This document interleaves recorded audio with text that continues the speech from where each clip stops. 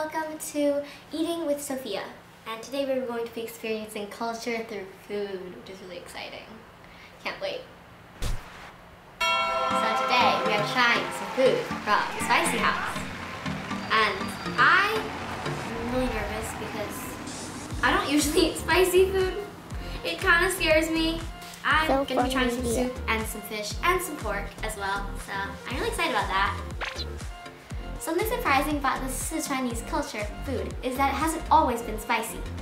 Some important flavors come from a special sauce.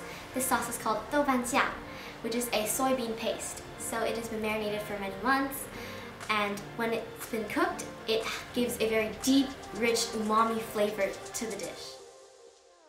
We're gonna start off with the sour radish duck soup.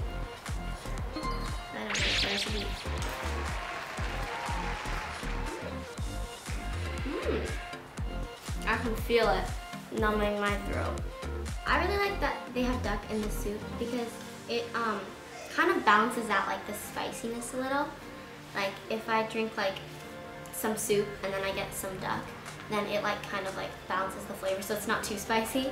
Next we're gonna try out the Chongqing braised pork.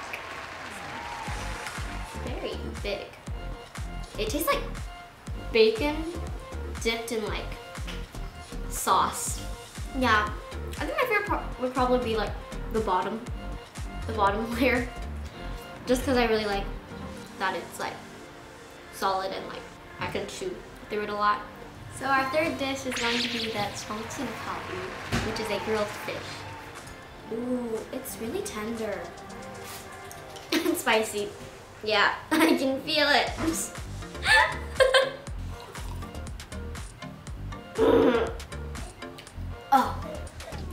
Eating it. so this is called the Sichuan pepperfish, and it's made from Sichuan peppercorn. So it's supposed to be really numbing. It's supposed to numb your mouth entirely. Overall, all of these dishes were amazing and so good. If you want to try some of these out, then go and visit Convoy Street, Kearney Mesa, Spicy House, San Diego.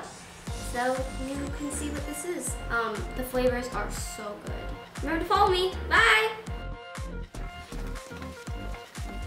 So Fun Media.